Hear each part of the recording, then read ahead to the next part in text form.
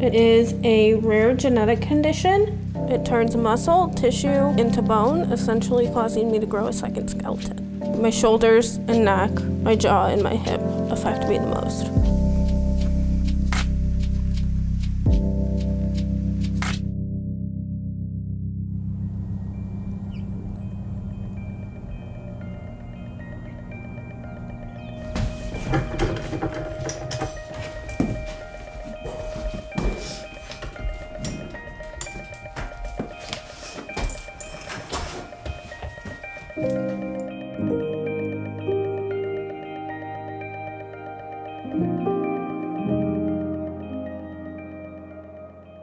My right hip is locked.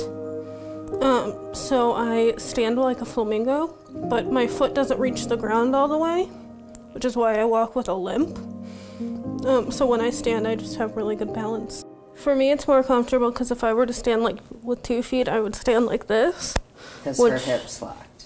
Isn't very helpful. So it's easier because I can stand straight and then talk to someone. Whereas if I stood with both feet on the ground, I'd be talking to the ground. Not often do you need to talk to the ground. the first thing to go was there was a lot of swelling in my back that has caused that over time to just turn into a sheet of bone. I have progressively lost more movement in my shoulders and neck um, to at this point where I have almost none. So Carli can't bend at her waist. She cannot raise her arms over her head. Luckily, she still has movement that she can get to her mouth. But I help her with her earrings, I help her shower, I do her hair. put her shoes on, and we drive her places that she needs to go.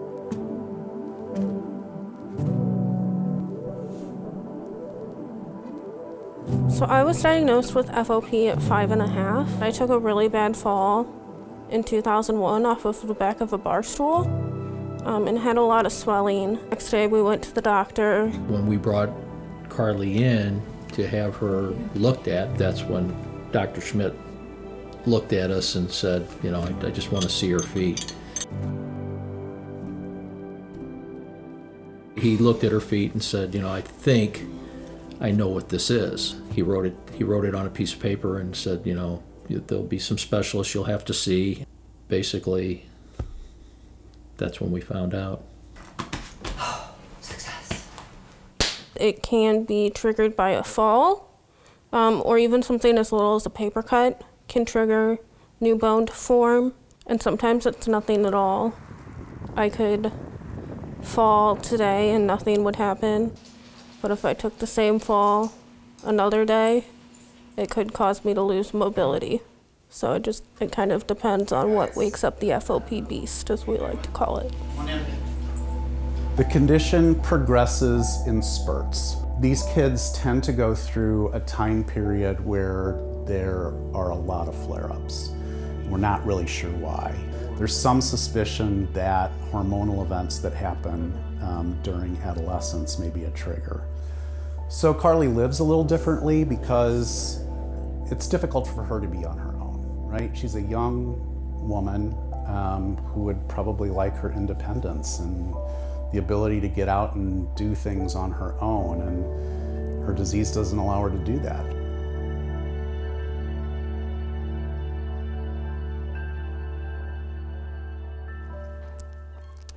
They took eight teeth out so I can get food through the holes, as I like to call them. Um, but it's definitely harder to chew. If there was a sport, I was in it and I was the center of attention. I just loved everything about being active. So I remember my parents having to slow me down a lot. They never treated me any different. She was on the swim team. She wasn't very good, uh, but she competed anyways. Um, and, uh, you know, and everyone cheered her on. It didn't matter. It wasn't what it was about. It was about her just being her.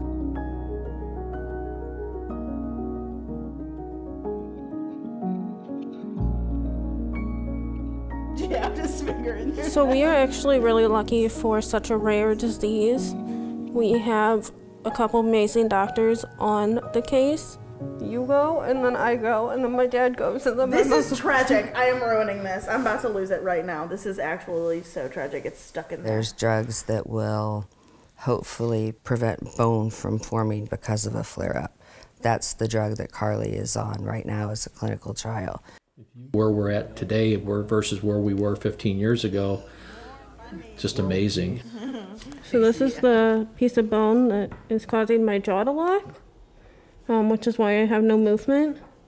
And hopefully, in the coming years with FOP treatment, they will be able to remove that cord of bone, um, giving me mobility back in my jaw. Oh, and someone.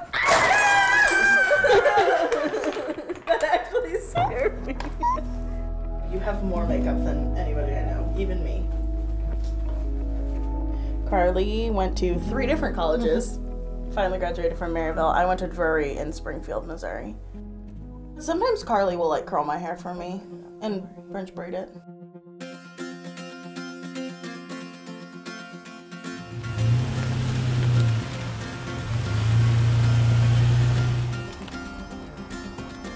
we decided to move in together. Um, that one was actually instigated by me. Um, She caught me off guard. There we go.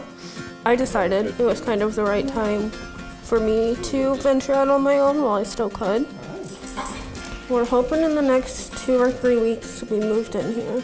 Um, there was no real modifications that we made in here.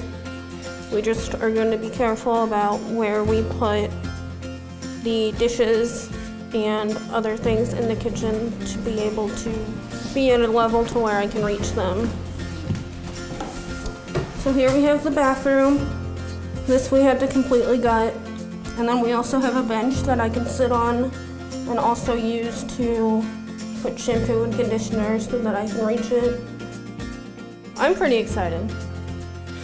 It's been a journey. I'm gonna be happy when it's over. I'm just excited to get into my new home and see where my independence can take me, but it will hinder me as well. Definitely disappointing that I can't play sports or drive a car or do this, that, or the other thing. But I always try to look on the positive side and remember what I still have, and I'm thankful for that.